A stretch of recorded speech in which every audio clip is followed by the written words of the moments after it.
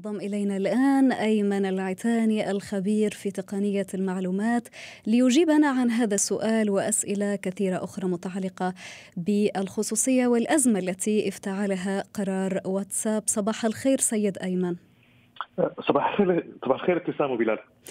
سيد أيمن أنا كمستخدم بسيط لمواقع التواصل الاجتماعي التي من خلالها أدون على جداري الخاص ما يخطر ببالي. أكتب كل المعلومات التي تخصني يعني من تاريخ الميلاد إلى الدراسة فالعمل والمهنة. أتساءل ما الضرر الذي سيلحق بي أنا كمستخدم بسيط عندما تقوم مثلا شركة واتساب بمشاركة بياناتي مع شركة فيسبوك أو أي شركة أخرى؟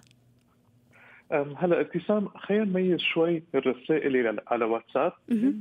المواضيع اللي بنكتبها نحن آه، على الإنترنت على فيس على صفحتنا على فيسبوك نعم. وإنستغرام وغير مواقع.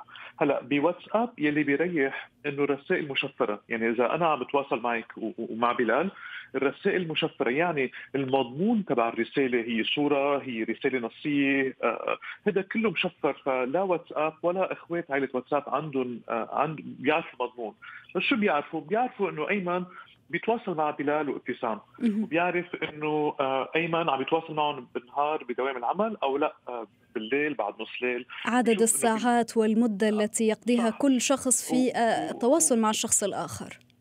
صح صح صح. يعني مثلا بلال آه، آه، يعني عم بيحكي مع ابتسام ابتسام عم بترد عليه أما لا آه، عم بترد عليه. يعني يعني هالتفاصيل كلها بتكون موجودة؟ وكمان بيتابع ما هو كمان هي بيتابع. يعني إذا أيمن بيحكي مع بلال وبلال بيحكي مع ابتسام طب بلال مع مين بيحكي؟ وابتسام مع مين بتحكي؟ وشو هو بيشبهوا أيمن بيشبهوا بلال بيشبهوا أكثر ابتسام فهيدي المعلومات حتى لو المضمون منه معروف يلي المعلومات يلي حوالي هذا المضمون بيكون معروف. وين وين في استفادة لمؤسسات مثل هذه يعني في حال هن قرروا يشاركوا هالمعلومات مع مع مع مؤسسة فيسبوك نعم. آه بيكون في آه دعاية الدعايات اللي بتصير توصلنا نحن من المؤسسات التجارية بتكون مخصصة أكثر لنا نحن، يعني مثلا إذا أيمن وبلال عندهم نفس القيمة الشرائية، نفس الاهتمامات، نفس المواضيع اللي بيهتموا فيها، فإذا بلال يعني عم بيتو... يعني بيحب هالنوع الدعايات يعني بيحضر هالفيديو بالدعاية أو بيشوف هال...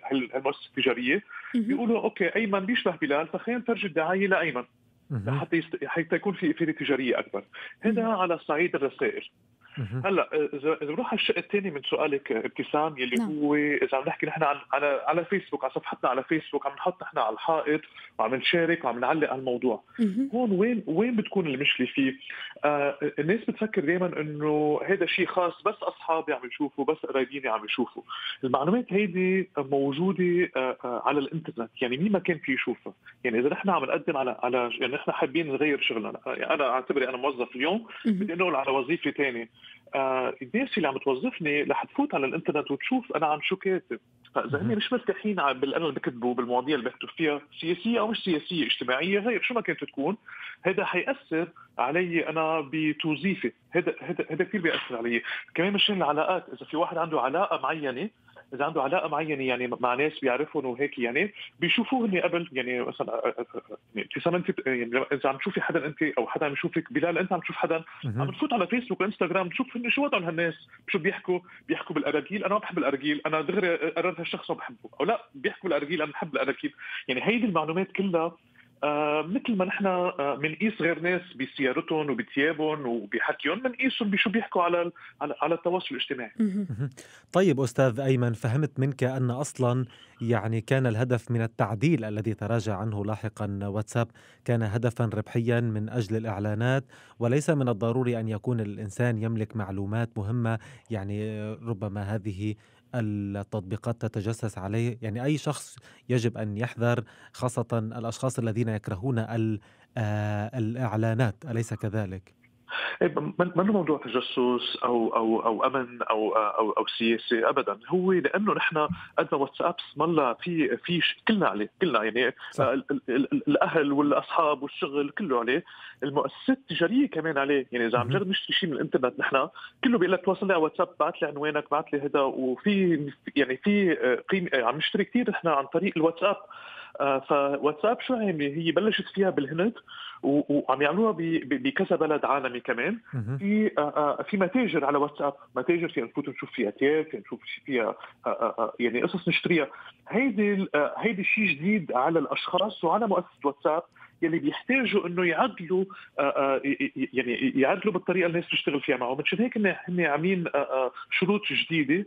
لا ليسمحوا لهال هن ب 2021 رح يكون في خدمات جديدة للمؤسسات فنحن بس نتواصل فيها مع أشخاص مع هذه المؤسسات بده يكون في شروط يعني جديدة لحتى هذا الموضوع يساعد بس إيه يعني هو الاساس التجاري طيب أستاذ أيمن يعني بخصوص بخصوص المجموعات على واتساب عاد الحديث مجددا عن أن هناك ثغرة أمنية في التطبيق أدت إلى نشر كل المحادثات على المجموعات على جوجل يعني الذي يبحث مثلا على محرك كمحرك بحث ممكن أن يجد مضمون ما يدور في المجموعات أو الجروبس على واتساب هل هذه كانت مجددا ثغرة أمنية أم أنها بسبب السياسات الجديدة التي كان واتساب بصدد اتباعها؟ بهيدي الثغرة بالذات اللي عم بيكون في يعني هيدي بتأثر على عدد كثير قليل من الناس وهي ما عم بتكون المضمون عم بيكون موجود عم بيكون الرابط لينضم الواحد على على المجموعة. فالمضمون بحد ذاته مشفر وحتى لو واتساب بدك تشوفه ما فيها تشوفه. يعني لا موظفين واتساب فيهم يشوفوه. يعني هيدي المعلومات منا منا موجودة بسهولة. بس نعم هيدي الثغرة أثرت على عدد كثير صغير من الناس بس لينضموا اللي بيقدروا ينضموا على هيدي المجموعة. بس المضمون مشفر.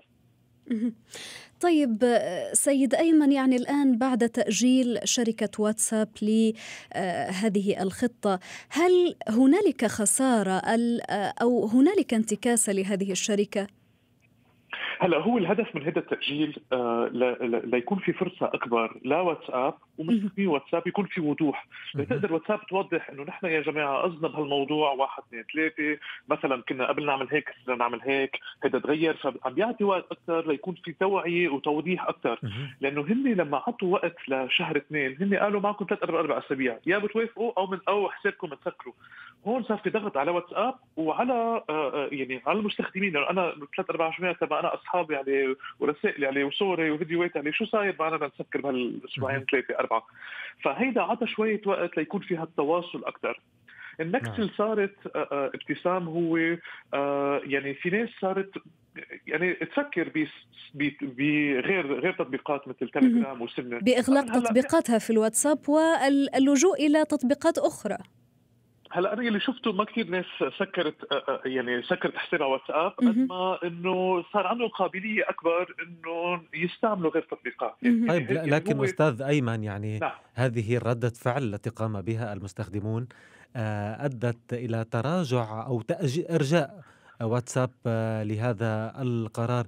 لكن أريد أن أسألك سؤالا يعني واتساب هي شركة خاصة تم تقدم لك خدمة التواصل مقابل الإعلانات هي شركة شقيقة لفيسبوك هل ترى أنها تعسفت في استخدام الحق يعني حين يعني وضعت الناس أمام خيارين يعني أو توافق على هذه السياسة الجديدة أو أنت ممنوع من استخدام التطبيق أليس هذا تعسفا في استخدام الحق؟ هلا هو هن عندهم حجمهم كبير واتساب يعني هن بس يغيروا بيغيروا مثل ما هن بدهم بالاخر هي مؤسسة خاصة وبيقدروا يغيروا هن مثل مثل ما هن مرتاحين آه بس أكيد ما كانوا متوقعين يكون في هالقد حركة إعلامية وحركة آه يعني من الناس إنه تتساءل عن هذا الموضوع. ليش يعني؟ هلا يعني يعني في توعية إعلامية اللي عم تفضلوا فيها أنتم اليوم بالحلقة وبغير حلقات ومع زملائكم كمان وهيك يعني. هذا عمل توعية كبيرة والناس عم تحكي فيه شوي أكثر بهذا الموضوع أكيد يعني. طيب أنا كمستخدم بسيط سيد أيمن يعني عندما أسمع ربما موضوعات أو معلومات عن تبادل البيانات الخاصة بي أنا كمستخدم يعني تنتابني ربما رهبة ربما هذا انتهاك للخصوصية ربما سيعلمون ماذا تحدثت مع مع أصدقائي العديد من ربما الأطروحات التي سأبنيها على هذا القرار. أنا اليوم كيف أضمن يعني خصوصيتي؟ كيف أضمن حقي في موضوع الخصوصية في مواقع التواصل الاجتماعي؟ ابتسام سؤالك محله لأنه صعب صعب الواحد يضمن خصوصيته على الإنترنت.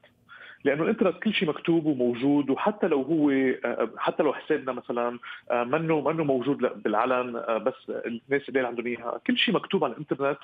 يعني أنا بنصح الناس فيه إنه كل شيء مكتوب على الإنترنت تعتبره مباح والناس كلها شايفته. نعم. فإذا أنا مرتاح إنه الناس كلها تشوفه يعني آه، مديري يعني مديري بشغل جديد أو مديري بشغل الحالي أو أهلي أو عائلتي أو أو أو ستي يعني حيلا حدا بيقدر يشوفه آه، لحتى لحتى ينعمل. آه، إنه هذا موجود على الإنترنت خلص يعني إذا أنا مرتاح فيه إذا أنا ماني مرتاح فيه ما لازم طلعه لأنه كل شيء مكتوب موجود يعني حتى حتى لو لو بلال يعني الرسائل بيني وبينك مشفرين. أنا في اخذ لقطة شاشة وفي هيدي يعني طلعها على الإنترنت. فهيدي بقول أنا بلال قال لي هيك أو أنا قلت له هيك لبلال ورد علي هيك. فهيدي كلها في كمان في يعني كل شيء ما نكتبه نعتبر كأنه موجود على الإنترنت. هيك الواحد بيريح حاله إنه خذوا اللي بدكم أنا كاتبه ومرتاح فيه واثق من حالي.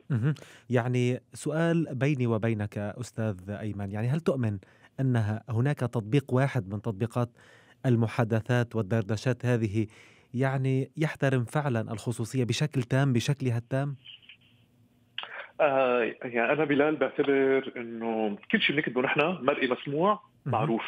يعني حتى لو هو التطبيق ما بده أنا عم ببعث له رساله يمكن هو بحب يأذيني بموضوع معين. فحتى أنا عم بحكي مع مع صديق صديق قريب علي بنتبه على شو بحكي فيه لأنه ما بتعرف بكرة شي نهار زعل مني ومنك بياخذ صورة وبيعمل لها مشكلة. فهيك عم بعتبر أنا كل شيء مكتوب بعتبره خلص. طيب تماما. مباح. من جانب شركات التطبيقات آه، نفسها يعني ليس بمقدورها أن تطلع على كل شيء؟ هلأ هول المؤسسات الكبيرة هدفهم أكثر المردود التجاري. فهن مضمون الرسالة بالضبط ما كثير بيعني لهم قد ما هو المعلومات اللي حواليها يلي بيقدروا إنهم من جهة في حال آه، آه، صار في مشاكل خصوصية إنه هن أنا ما فت أعمل رسائلك أنا عم بحكي عن مواضيع يلي حوالي الرسائل بسموها ميتا تاكس اللي هن حوالي الرسائل مش ضمن الرساله فشوي حامين حالهم من جهه ثانية هالمعلومات آه، قيمة معينة عم يقدروا يطلعوا منها كذا يعني 100 مليون دولار بالسنة يعني فما في مش يعني في لها قيمة قيمة منيحة. طبعا.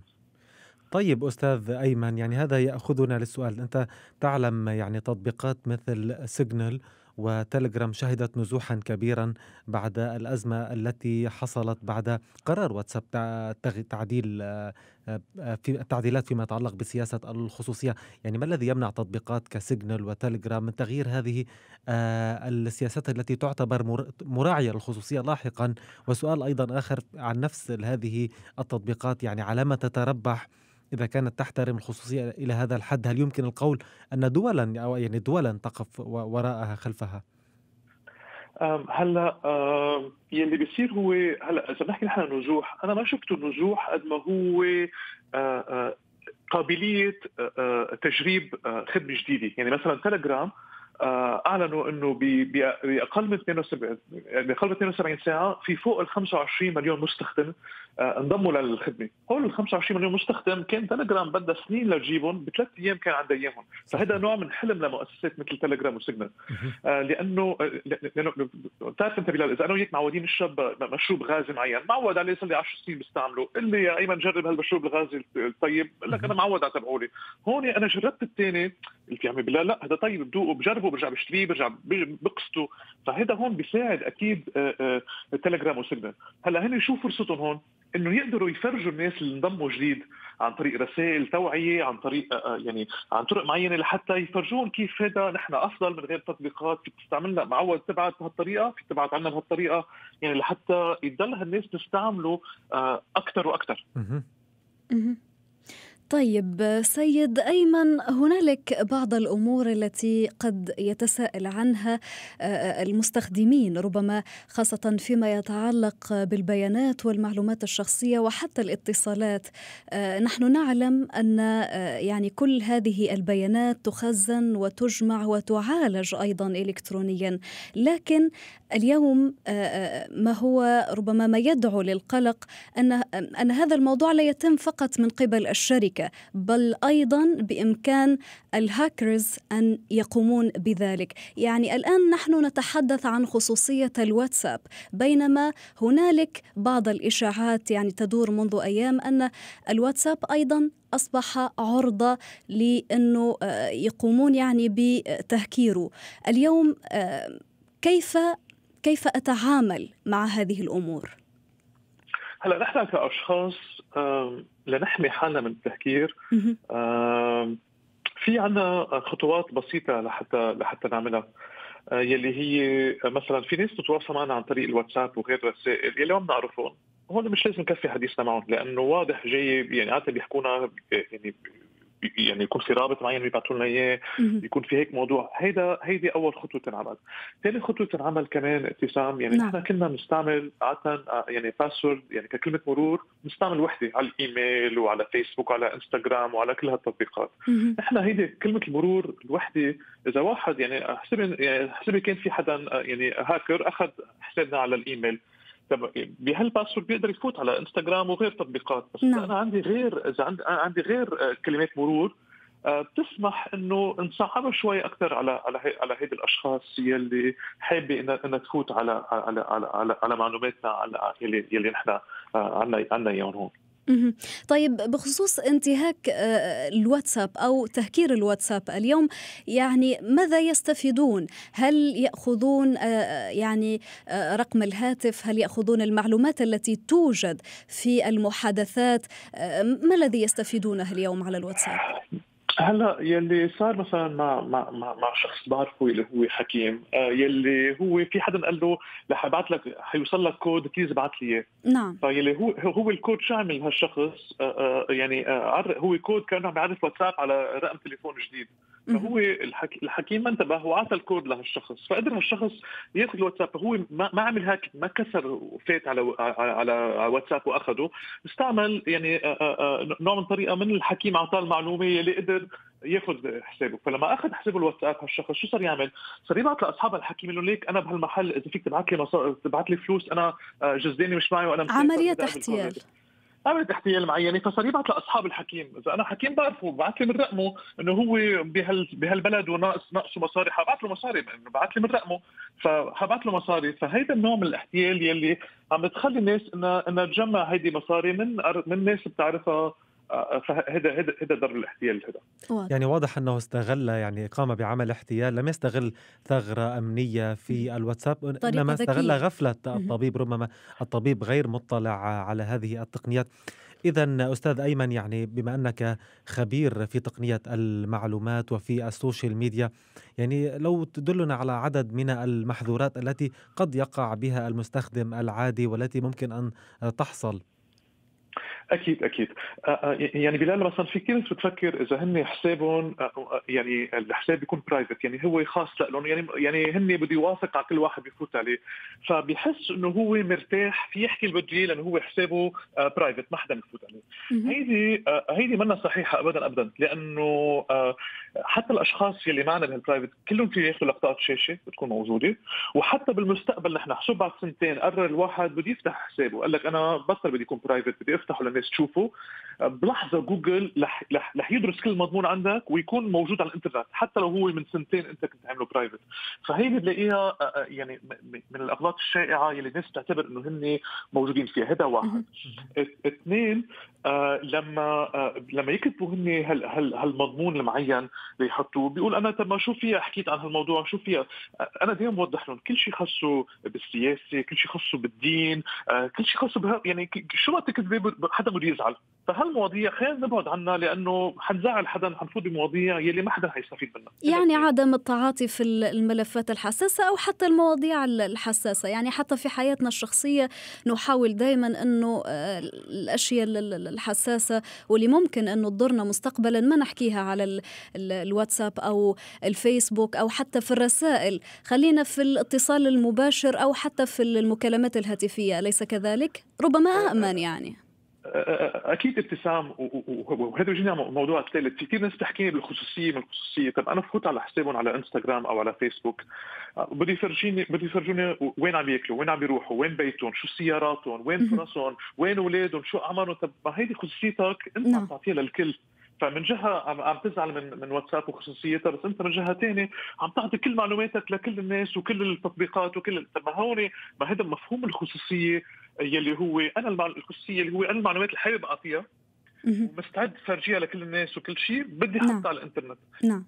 شكرا لك أيمن العيتاني الخبير في تقنية المعلومات.